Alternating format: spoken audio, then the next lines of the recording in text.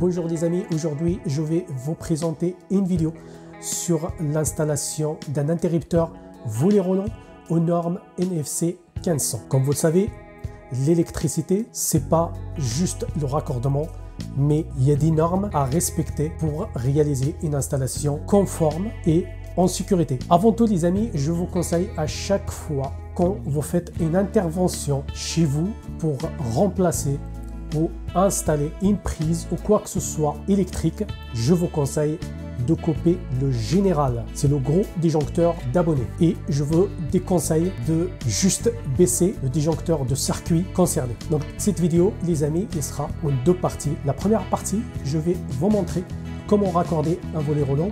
Et la deuxième partie, on va parler de la norme NFC 1500. Donc les amis, le voici l'interrupteur roulant qu'on va installer aujourd'hui. Ici, c'est la phase, elle est colorée en rouge et c'est marqué L, des fois L, des fois P. Et ici, la descente et ici, la montée du volet.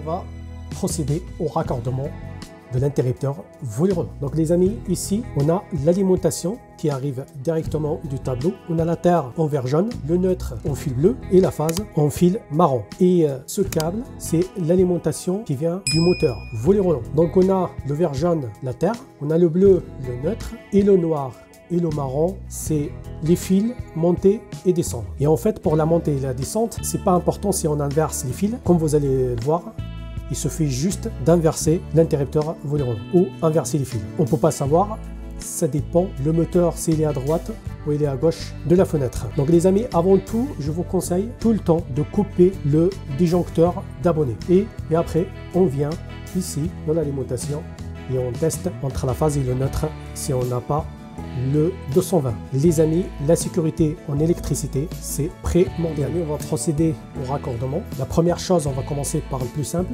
On va prendre le vert jaune, la terre qui vient du tableau, et on va le raccorder avec le jaune qui vient côté moteur. Donc on raccorde la terre. Après, le plus simple, on va raccorder le bleu avec le neutre, le neutre de l'alimentation avec le bleu qui vient du moteur. Et là, il nous reste la phase qui vient de l'alimentation et le marron et le noir, montée descente, qui vient du moteur. La première chose qu'il faut faire, c'est de brancher la phase en premier sur l'interrupteur, comme vous voyez. Et après, montée et descente, on branche n'importe comment, juste il faut appuyer et clipser le fil. On fait pareil pour l'autre côté.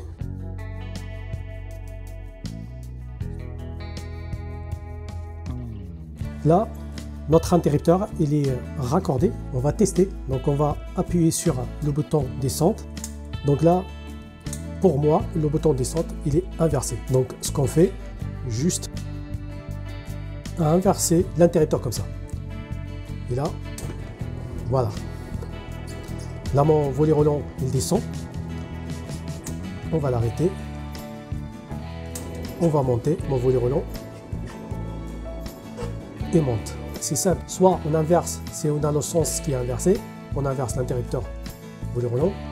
Soit on inverse les deux fils marron et noir qui vient du côté moteur. Et comme vous voyez les amis, j'ai utilisé des wagons souples rigides. Les dominos, c'est à éviter. Tout serrage avec vis, le cuivre, et il travaille avec le temps. Et après, ça fait des étincelles. Il peut provoquer un incendie. C'est pour ça, utiliser tout le temps le matériel adéquat. Pour les fils souples qui viennent du moteur et les fils rigides qui viennent du tableau, pour les connecter, il faut utiliser des wagons souples rigides, mieux que des euh, dominos noirs à visser. Et un petit conseil les amis, sur la faïence, on ne peut pas utiliser les vis d'origine des boîtiers électriques. Je vous conseille d'utiliser des vis de 35 mm.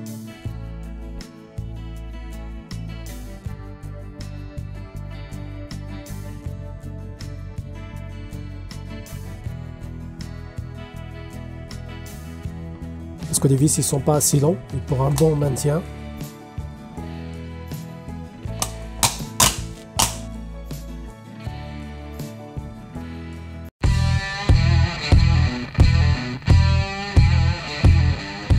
on va parler d'un circuit spécialisé volet roulant. Qu'est-ce qu'il dit la norme NFC 15 En cas de volet roulant motorisé, la norme NFC 1500 impose de crier au moins un circuit spécialisé systématiquement dédié à l'alimentation des moteurs volets roulants. Donc en gros, on doit au minimum un circuit dédié aux volets roulants par logement. Là, on va parler du choix d'intensité des disjoncteurs, comment choisir l'intensité des disjoncteurs suivant la puissance des moteurs de volets roulants. Pour un circuit volet roulant en fil 1,5 mm, on doit le protéger avec un disjoncteur de 16 ampères. Et pour un circuit de volet roulant en fil 2,5 mm, on doit le protéger avec un disjoncteur de 20 ampères. En gros, pour les volets roulants, on doit un circuit spécifique avec un disjoncteur dédié. Donc, à noter aussi à répartir les circuits volets roulants sur deux circuits parce que si tous les moteurs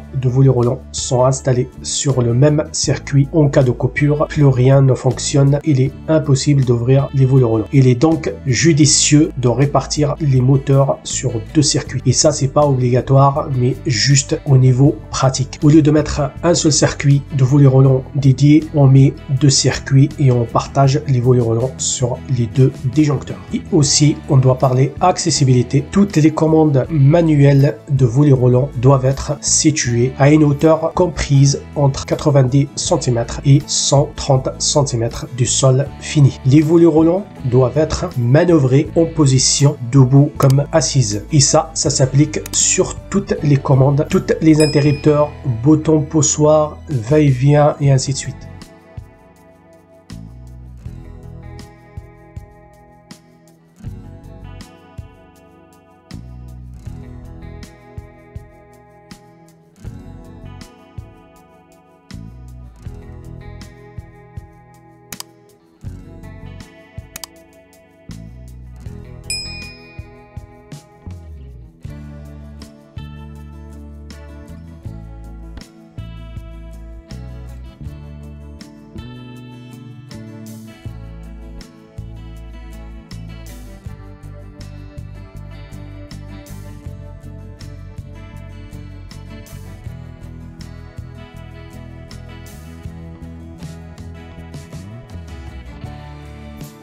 Voilà les amis, notre vidéo arrive à sa fin. Surtout, n'hésitez pas à liker et s'abonner si vous avez aimé la vidéo pour m'encourager. Je vous dis à la prochaine vidéo. Ciao ciao